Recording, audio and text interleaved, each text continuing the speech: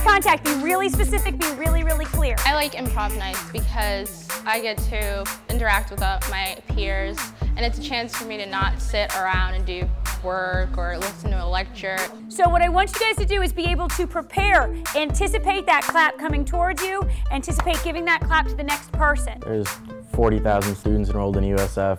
Like, I'm sure not even half of them can say they've met the president, much less play games with him.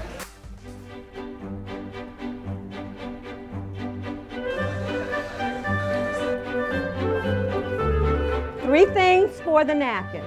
In your lap to catch crumbs, to wipe your hands, and to blot your lips. Cut only what you're going to eat. When we are having conversations at a round table, we do not talk across the table.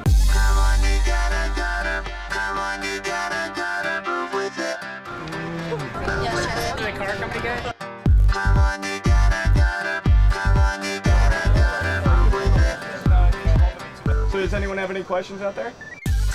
One, two, three.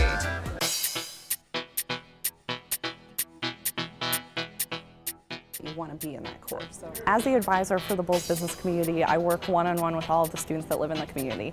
And so I make it my goal to know each and every one of them personally. And so I know their names, I know where they're from, I try to know their hobbies and their interests, and most importantly, their career goals.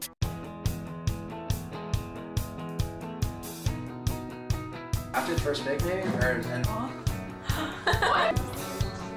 Because I can always. I am so grateful to have this for my freshman year. There's tutors that live in with us. That was one of my big helps. There's mentors who can help you out. And if you don't live in the BBC or at least find out about it, you're never going to get that experience. It's the best decision you can make coming in as a freshman because you're going to be on a whole floor of, I think it's 105 students that are all taking the same class as you are. You're going to have freshmen that are learning the same things you are in the same courses with the same teachers and the same book.